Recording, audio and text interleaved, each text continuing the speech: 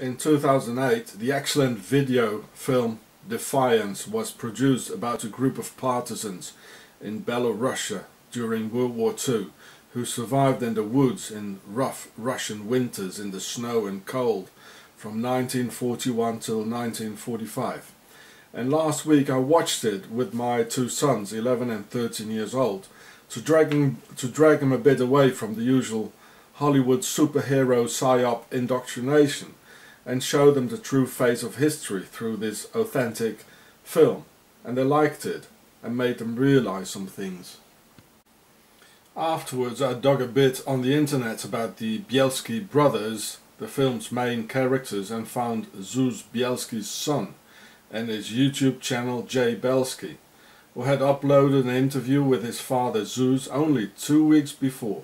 So I watched the film at the exact right moment. So I asked him if I could just copy five minutes of the interview and he said sure.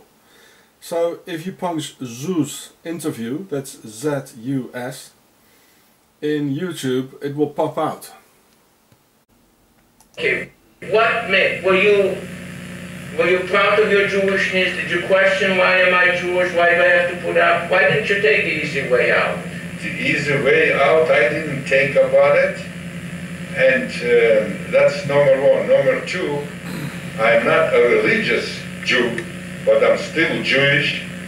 When I was, uh, we just made up our mind. I was not the only one. I got another brother, brothers, which I don't know by themselves if everyone would would be survived by individual to go with shiksas. Who the hell got in their mind and shiksas? We got in mind to fight and to take it out Jews to fight the Germans. My brother was fighting Tuvia was for that to take it out all kind of uh, people and uh, to survive. I wasn't against this. I was only against to stay together with children and old people. Okay, can We'll get to that later. Yeah, we'll get Okay. that. Did you have any dealings with the Judenreiter? the With the Jewish Judenrat, I'll tell you what I got. With the Judenrat, I did have before we were already in the woods. The word he's talking about is Judenrat, that means uh, the Jewish Council. It's hard to understand. That's uh, uh, Yiddish. In the forest, me and my other brother, a. And they called two of my brothers, Yankel and Ibrahim. The first time they didn't take him, the Germans, when they come to arrest us, me and my brother, sawyer. So they were sure they wouldn't touch it. The other two brothers, they're not communists and they're not uh, partisans. So they were sitting at home, which you cannot blame it. They saw it, the fact. The Germans were when they didn't uh, touch them. When they come up and they call Vituvia, also they didn't touch him in the first time, the Germans. They come up to look specifically for myself and Asael, my brother.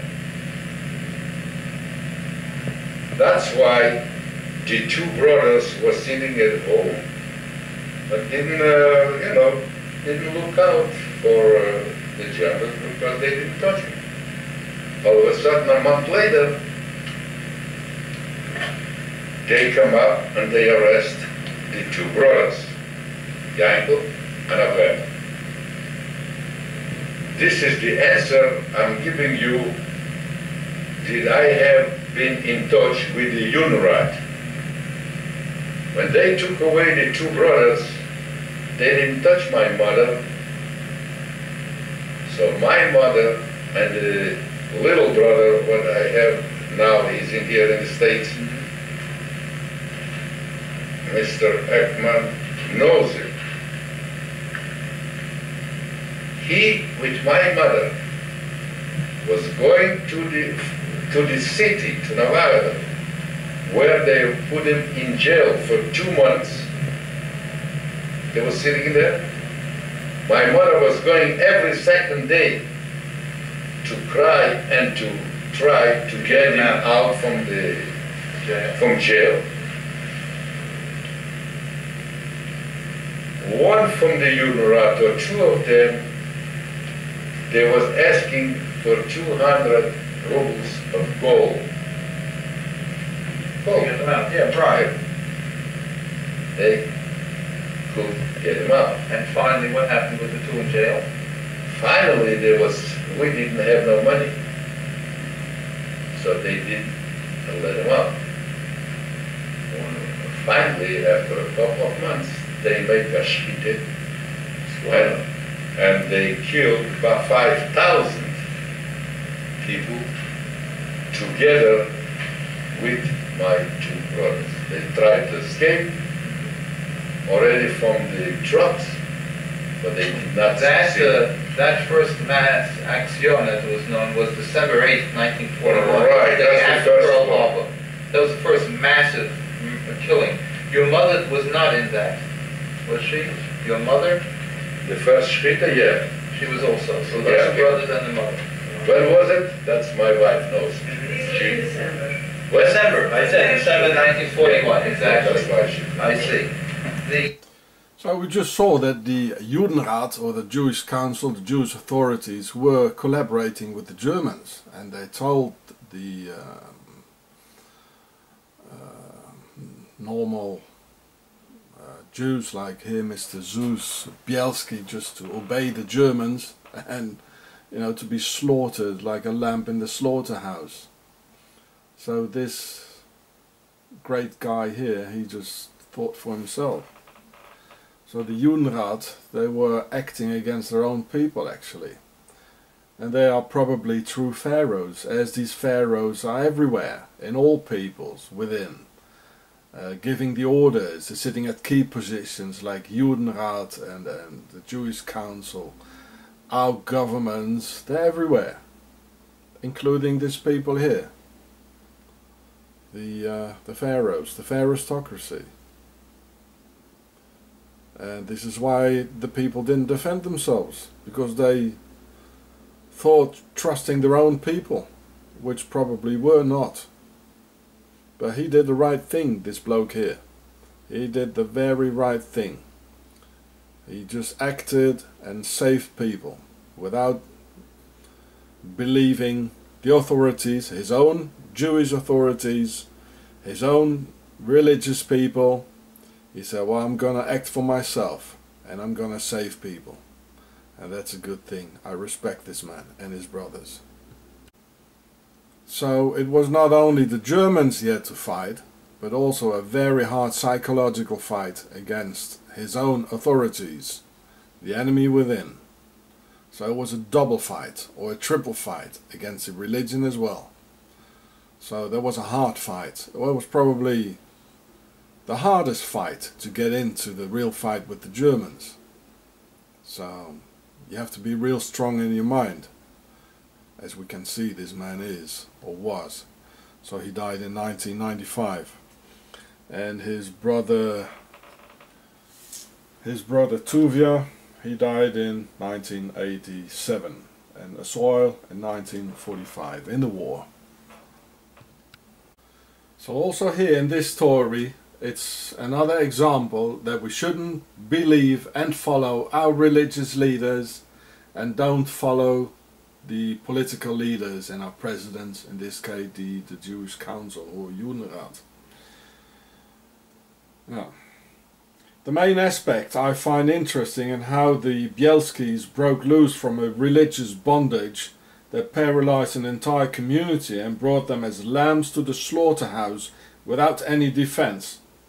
The Bielski brothers were secular non-religious Jews and broke loose from the rabbis' ties, ties, telling everyone that some divine entity called God would save them and protect them from Hitler, and that they shouldn't defend themselves and just obey the Nazis and their orders, who actually camouflaged their true intentions by promising everybody food, a future, and just some work under humane conditions in a working camp. Actually a refined Swiss idea who, fin- who financed Adolf Hitler from 1923 onwards and gave in fact all the orders to the Nazis, as Switzerland and the Nazi Templars of Octagon are the true masters of disguise with a smile to conceal their neutrality swindle until the last shower to take. And it was also the Swiss financial and weapons transactions with the Nazis that prolonged World War II with at least two years and two more hard winters in the forest for the Bielski partisans and the children and the women. So here we can, I showed it in many of my films. It's a very important picture of Mr. Hitler in Zurich in 1923 when the Swiss Nazi Templars financed him with half a million dollars today's worth. And here's the Swiss Nazi general Ulrich Wille who uh, did most of the transactions and the dealings with Mr. Hitler uh, for the as a, a, a, delegate as a delegate for the uh, entire Swiss population. Nice, charming, isn't it? Look at it.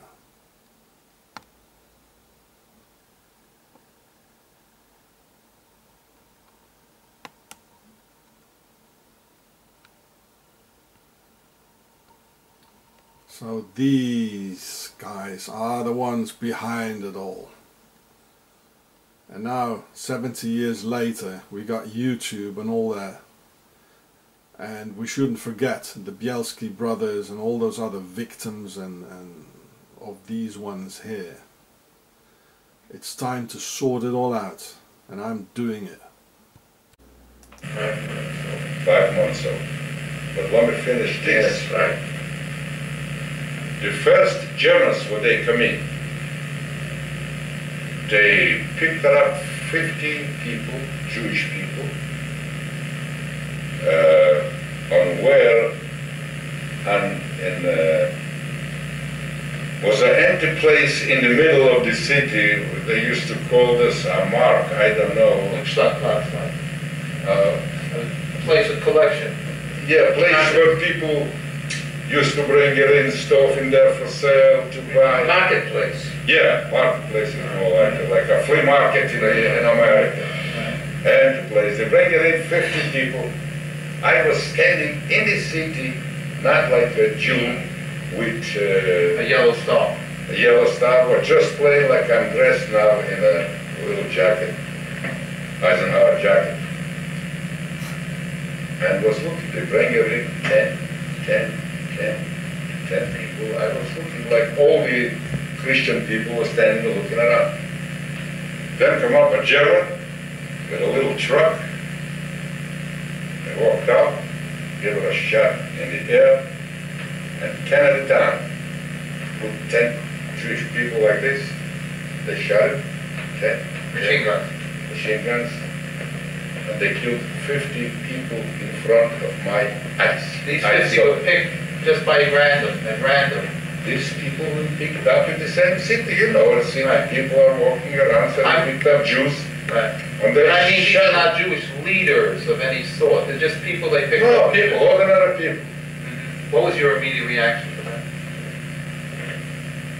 My reaction to that is, was, not to get to the Germans. They should shoot me but I'll shoot him first. We'll try to kill him first before he shuts Where did you get this feeling, Khrushchev? Here's the feeling when I saw it in front yeah, of me. You see, ordinarily in Eastern Europe, as I recall, you went to Cheder to study. When a boy, when a non-Jew did something to you, they were told, turn the other face. Where did you get the fighting spirit? Who gave it to you? Did you have military experience before the war? I did have. I was in the Russian army for six months in the Russian army. When? Before the German come in, was the, was the Russians in there. Uh-huh. And I was in their army. Yeah. You mean to say when So the Bielski brothers didn't obey the orders of the Jewish community, the Judenrat leaders and the rabbis, and decided to die fighting. well, they didn't die and even saved 1,200 others. So in fact, religion and the rabbis worked for the Nazis against their own people and said, just pray and all will be well and God will be our, our instrument and savior. Which is in fact a blasphemy to assume that we little humans can just push a button by praying and order this God thing to obey our orders and help out. Whereas this very same religion states that we are God's instruments and not the other way around. So in fact the secular Bielski warriors didn't buy the religious dogmatism and without boasting some divine commitment they became the holiest of all, while the rest of the praying believers were taken as lambs to the slaughterhouse under the Swiss Templars' promise of just one more shower to take.